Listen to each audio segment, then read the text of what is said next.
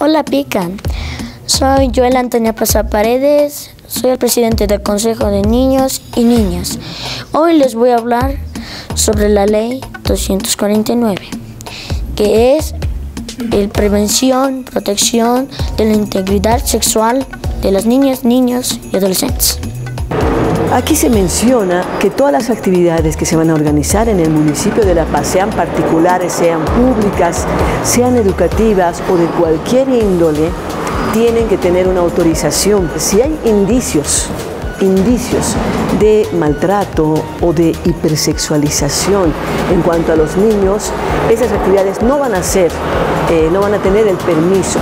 Yo entiendo la hipersexualización como es casi un error de los adultos de intentar entender a los niños como si fueran más grandes. Ojalá pudiéramos tener pues concursos que hablen acerca de la belleza del interior de las personas, ¿no? Y en realidad ni siquiera concurso porque el tema de la competencia tampoco tiene mucho sentido, ¿no? Que nosotros tenemos que combatir sí o sí contra el reggaetón. Es un poco complicado ante nosotros ya que a los niños les gusta mucho más o menos el, ritmo, no la letra, ellos no entienden la letra mucho, pero sí les gusta el ritmo.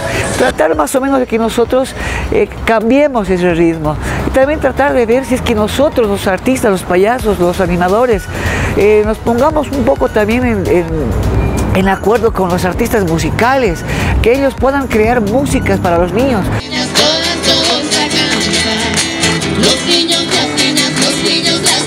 Los verdaderos animadores, los que son cabeza, los que tienen la, la, empresa de animación, ellos deberían contratar a, a, animadores o payasos y decirles a ellos que por favor ustedes, como están nuevos animadores, como recién están entrando a esto que es la animación, ustedes tienen que pasar primero unas clases.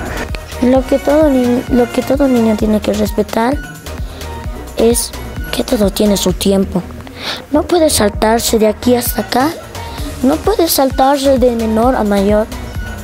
Porque, bueno, para mí no es agradable. Y además, no tiene edad para ser adulta. Muchas gracias. Chao, Pica.